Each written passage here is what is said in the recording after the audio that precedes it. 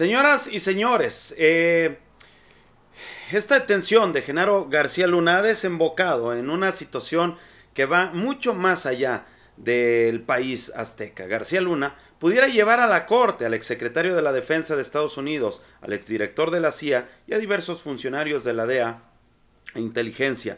Esto en la administración de Barack Obama. Muchos decían que Barack Obama era de los eh, mejores presidentes que ha tenido en estas dos administraciones eh, continuas que tuvo la oportunidad de gobernar el, eh, país vecino. Hay quienes dicen que Barack Obama fue uno de los presidentes más sigilosos para llevar una serie de deportaciones a la comunidad migrante más grande. Pues curiosamente, este mismo personaje es el que justamente tuvo varias reuniones cuando fue mandatario y después de con Felipe Calderón. Vaya que hay un entre una, una trama muy interesante en este, en este sentido. Señoras, señores, vamos a dedicar esta porra. Fíjense bien, voy a dedicar esta porra para todos aquellos autoridades, para todas aquellas eh, autoridades municipales mediocres que se creen los dueños del pueblo, para todos aquellos eh, inservibles, para todos aquellos eh, funcionarios públicos. ¿Qué digo de quinta? De décima. De décima. Vamos para allá. La porra te saluda. Damas, caballeros, como siempre, reciban un cálido, respetuoso y afectuoso saludo donde quiera que se encuentren. Espero estén muy, muy bien y que su día vaya de rechupete dirán, ah, caray, que, entraste con Obama, García Luna y luego con las autoridades municipales. Bueno, como dato curioso, señores y señores, el día de ayer por la noche en Guadalajara, Jalisco, quitaron, vamos a ver esto.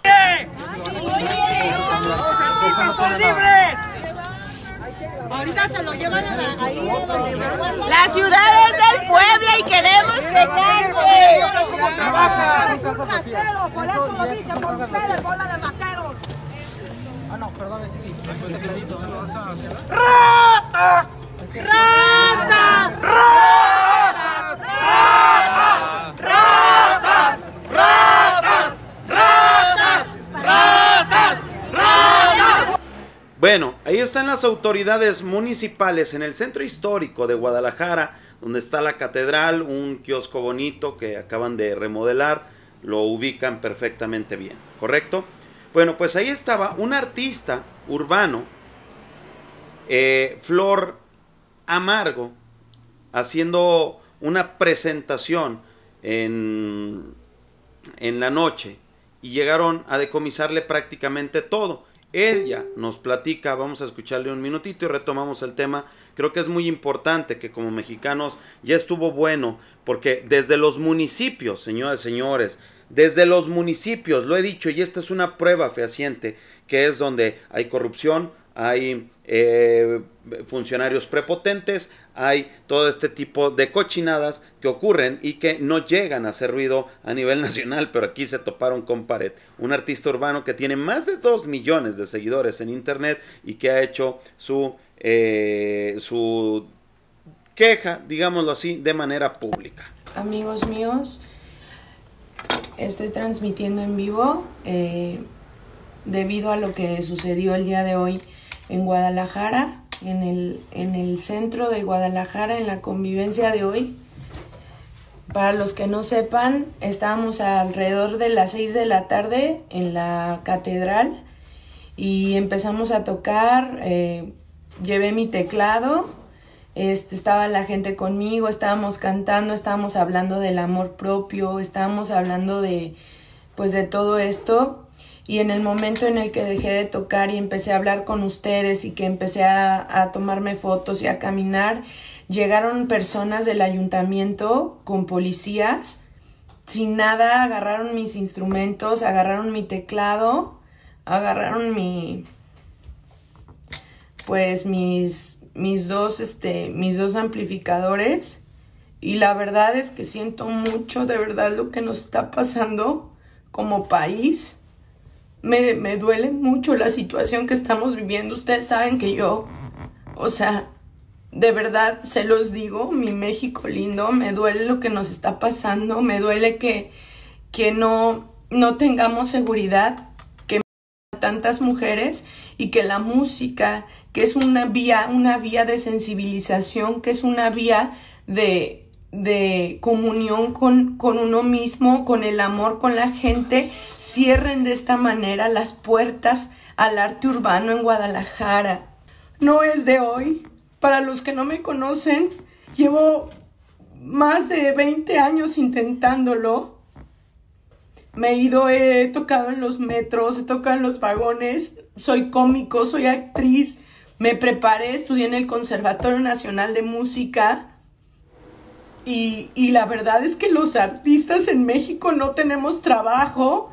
Pues ahí está, señoras, señores, haciendo esta, esta, este llamado público de verdad, qué tristeza que estos gobiernos mediocres, estos funcionarios públicos estúpidos, no les podemos llamar de otra forma, se crean los dueños del pueblo y ya. Comprendo y entiendo que hay lineamientos, hay reglas, pero también hay maneras de hacer llegar las cosas, ¿verdad? De verdad, ojalá que se tome carta en el asunto y que esto pues no ocurra, no siga ocurriendo y que sea un ejemplo de lo que no deben de hacer estos gobiernos idiotas y mediocres con el pueblo. Un pueblo que busca la manera de salir adelante, de echarle ganas y es una voz que afortunadamente, bueno, pues tiene millones de seguidores y que la apoyaron, la defendieron y que puede ser una voz para, para todos aquellos que no tienen esa oportunidad, ese espacio de expresión, ¿verdad? Vamos a retomar, señoras y señores. Bien, pues resulta que la captura de Genaro García Luna, ¿sí? esta detención en Estados Unidos, pone también en la línea a Barack Obama, porque justamente cuando García Luna estuvo ahí, pues tuvo que ver en el gobierno de los Estados Unidos durante la administración del personaje en mención. Fue el pasado 30 de diciembre cuando la prensa de Estados Unidos da a conocer que David Patreus, León Panetta, James Clapper, Janet Napolitano, entre otros, son algunos de los exfuncionarios de la gestión Obama, que están bajo investigación, incluso los medios estadounidenses destacaron que los posibles involucrados ya buscan a los principales despachos de abogados para una eventual defensa. El pasado mes de abril, el portal informativo Dallas News expone que eh, la organización sinaloense sigue operando a través de un enorme sistema de distribución que garantiza que estas sustancias lleguen eh, y, de ahí a la mano del consumidor. Este grupo sí tiene la mayor presencia en Estados Unidos. El Dallas News eh, pondera que Ismael Zambada, cofundador de, esta, de este grupo, supervisa el negocio amparado por el respeto de la maña de menor nivel y peor prestigio, por lo que este grupo tiene un fuerte poder y presencia en la Unión Americana. Es así que David Petrus y León Panetta, ambos exmiembros de la Agencia Central de Inteligencia CIA pudiesen tener alguna conexión con la afirmación que expuso Vicente Zambada Niebla al señalar a García Luna, pero también pudiese explicar lo externado eh, por el portal informativo estadounidense, toda vez que en su reporte externa que este grupo de Sinaloa es la que tiene mayor penetración en la Unión Americana. Tanto Patreus como Panete estuvieron comisionados por años en Oriente Medio, no obstante en 2011 se involucraron de lleno en cargos estratégicos para la, la administración Obama Prateus y fue designado como director de la CIA y Panetta fue nombrado el secretario de la defensa, es decir, ambos funcionarios deberían tener una estrecha relación con Genaro García Luna para tratar estos temas de seguridad nacional. Pese a que los medios gringos han señalado que algunos de los exfuncionarios de Barack Obama pudieran ser expuestos por García Luna, también está la posibilidad latente de que el extitular de la Secretaría de Seguridad Pública Federal arrastre a miembros de la Administración para el Control, o sea, la DEA, como es el caso de David Gaddis, ex jefe regional de esta. ¿Qué tiene que ver este personaje de la DEA? Pues Gaddis es quien vincula a Genaro García Luna con los encargados de la seguridad estadounidense la relación que tejió el encargado de la seguridad pública del segundo sexenio panista con miembros de la CIA y la DEA podría explicar a cabalidad cómo se han tejido las complicidades entre miembros de la administración Calderón y Obama para que estos grupos mexicanos, en especial el de Sinaloa, pueda operar en Estados Unidos. ¿eh? De acuerdo con los reportes del gobierno de Estados Unidos, en el 2010, representantes del gobierno mexicano encabezados por miembros de las dependencias de seguridad, la Sedena, la PGR, el CISEN, la CEMAR y la Secretaría de Seguridad Pública, junto con sus homólogos estadounidenses, se creó el Grupo Bilateral de Trabajo México-Estados Unidos por objetivos de alto valor. ¿Sí? con el objetivo de intercambiar información de inteligencia. No olvidemos que eh, justamente eh, Felipe Calderón ya había pactado esto de la iniciativa Mérida.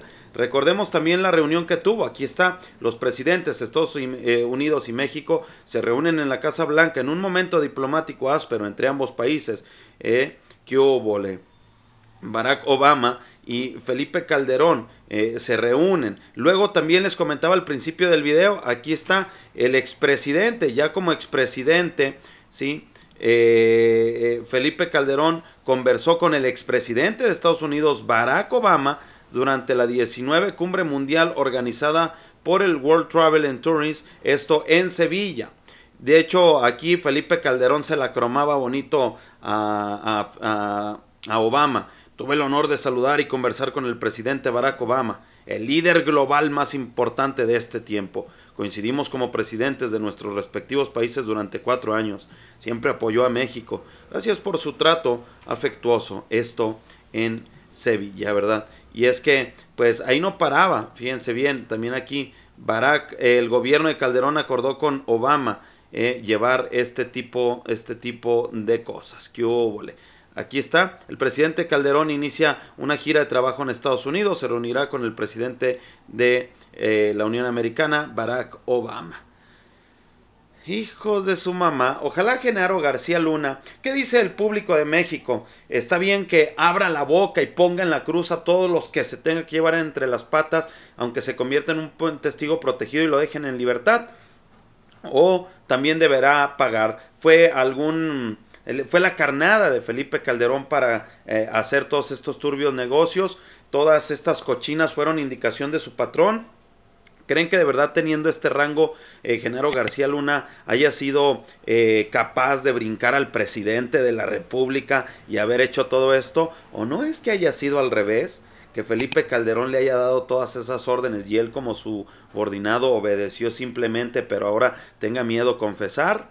No lo sé, es una pregunta que me encantaría saber cuál es tu respuesta. Señores, señores, soy Polo Puga, nos vemos en un siguiente video. Adiós.